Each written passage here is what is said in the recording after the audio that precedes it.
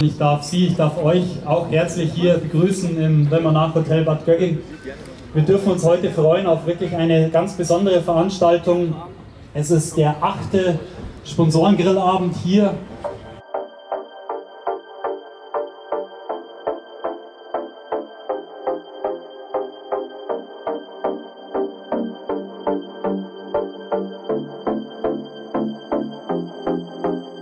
Wir sind heute zum achten Mal, nicht ganz in Folge, aber zum achten Mal im Monarch Hotel in Bad Göcking am Rande des Trainingslagers der Mannschaft und dürfen hier über 200 Sponsoren begrüßen. Das ist eine hohe Anzahl wie noch nie. Das freut uns wirklich sehr.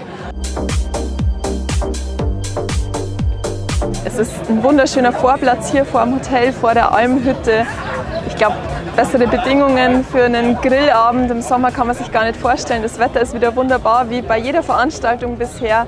Und es ist einfach diese, diese Herzlichkeit auch der Gastgeber vom Herrn Lopaki und seinem Team, ähm, die es uns immer wieder eine Freude bereiten, dass wir hier wieder sein dürfen und hierher kommen können. Glaube, das ist ein ganz wichtiger Punkt auch für unsere Sponsoren, dass sie eben auch abseits der Spieltage mal in so einer lockeren, geselligen Runde auch zusammenkommen. Viele kennen sich schon aus den letzten Jahren. Viele waren, sind heute auch zum ersten Mal hier und lernen dann auch wieder neue Leute kennen. Und das ist einfach so der Charakter, den alle unsere Sponsorenveranstaltungen ausmachen, dass man einfach in einem lockeren Rahmen zusammenkommen kann, sich gegenseitig austauschen kann und dann vielleicht sogar in der Folge auch mal zusammenarbeiten kann. Ich finde den Grillabend äußerst gelungen. Es ist eine tolle Veranstaltung vom Jan Regensburg.